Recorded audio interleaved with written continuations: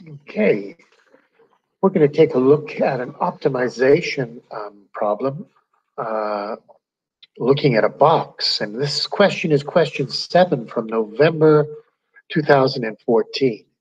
So what you're given is you're given that it's a box, but then this one, they gave you a whole bunch of things here. They're saying what we're going to do is we're going to take a big rectangular piece of paper that's 100 centimeters long and 40 centimeters wide, and we're going to cut it right here and here, and we're going to fold it along these dotted lines, and, and then we're going to cut it here. So this part here that you cut and you fold up, that'll be the height of the box. Then we're going to fold it over. Um, this part down here is the base. Okay, so this problem was a little bit different.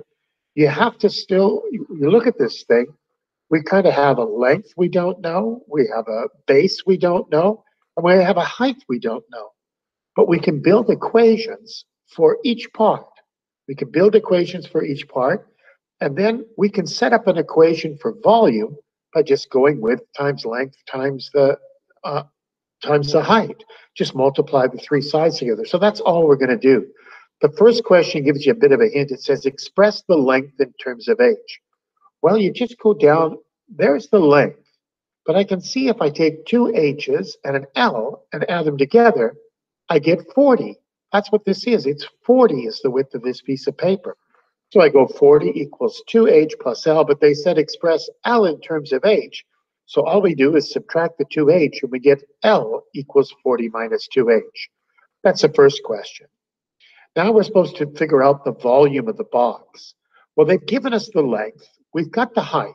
What we don't know is the base. What we have to do is play exactly the same game. Take the base plus another base, the height plus another height. That's two bases and two heights. We can see it adds up to the 100 centimeters. So we just built an equation. 100 equals two bases and two heights. Well, we want to figure out what the base is, so we subtract 2h, divide by 2. 50 divided by 100 divided by 2 is 50. 2b divided by 2 is just b. If you just solve, uh, make uh, b the subject, you'll see that b equals 50 minus h. I just subtracted 2h and then divided by 2. Okay, so now we've got the base, we've got the length, we know that the height is h. Hey, we've got it all in terms of one variable, h, 50 minus h, 40 minus 2h, and h itself. If we multiply those three things together, we get an equation for the volume of the box. Now, the last question says, how do we make h um, uh, the height that will make the volume of the box maximum? Well, this is all you have to do. We've got the length, we've got the base, we know the height, we just multiply them together. If you take h and multiply it by 50 minus h, you get 50h minus h squared. And then we just do FOIL on it. Uh, 50h times 40 um, is 200h. Uh, sorry, 2000h. That's how many h's we have. We have minus 40 minus 100. That's minus 140h squared. And then we have minus h squared times minus 2h. That's positive 2h cubed. Okay, then we take the derivative because we want it, whenever we do a maximum, we've got a function for volume, we take the derivative and we make it equal zero.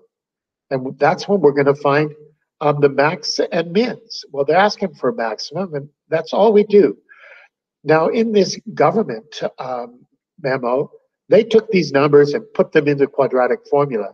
Might be a little smarter to put 3 and 140 and 1,000 in, but you'll get this exact same answer. So B is um, negative 280, A is 6, C is 2000. They put it in the quadratic formula, and they get two different answers out. They get 37.86 and 8,88 for the height. Well, if you put 37,86 back in here, where it says 40 minus 2h, you're going to get a negative answer. It just doesn't make any sense. It won't work. So you throw out the 37,86, and the maximum um, volume will be when it's 8.8 centimeters. And there's your answer. So you always take the derivative. You've got a function like volume, and then you take the derivative and you make it equal zero, and then solve it to figure out the max or min. And that's the whole story. At least to that question it is. Okay.